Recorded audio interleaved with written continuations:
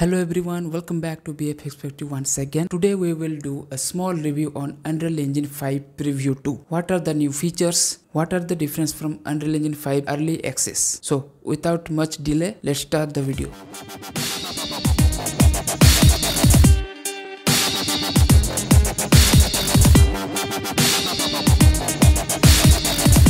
If you have the older version of Unreal Engine 5 then please go to the Epic launcher and just install the Unreal Engine 5.0 preview 2 okay?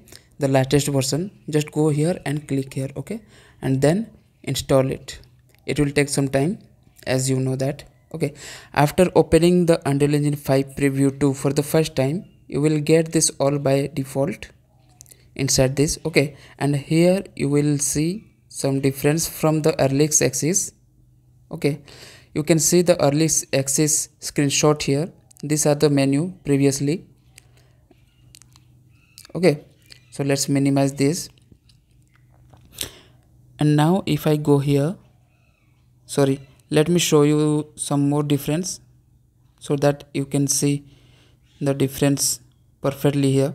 This is unreal engine 5 early access screenshot. Okay you can see the reference okay.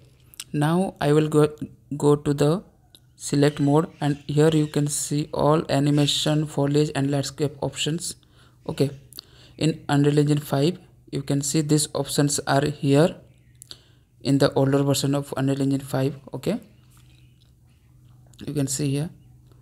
Then okay you can check out all of this then we will go to this icon here plus icon. And here we have import option bridge option which is much more good for now. Okay. You don't have to install another app for quixel bridge. Okay. Now this is within the unreal engine 5 preview 2 okay. You don't have to install another one. So these are the lights option visual effects option and cinematic options all are in one. Then you can check out all these options here. Okay. We have all the lights and cinematics options are here in quick sorry unreal engine 5 older version means early access version. Okay. So now we have all this here all the lights and camera options are here okay? So some more options are here like uh, sequence options and then by control space you can open this panel and these are some same things like in older okay? And not much more difference okay.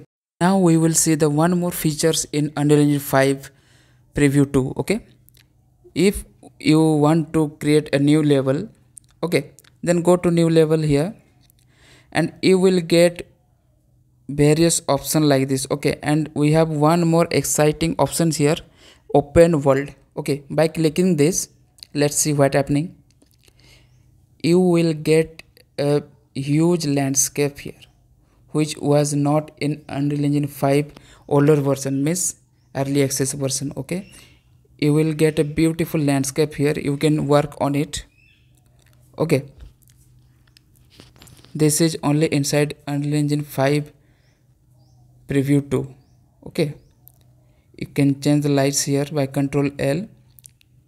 This one is the most beautiful option in newer version of Unreal Engine 5 we will work on this in next video. Okay so this is for today's video guys. If you like this video if this video is helpful for you please give a thumbs up. And if you are new to my channel please subscribe my channel for more unreal engine videos and tutorials. And one more thing i want to announce that unreal engine tutorial for beginners will be soon in my channel and that will be a series from installation of unreal engine to the advanced level of unreal engine work. So please subscribe my channel and stay connected. See you in the next video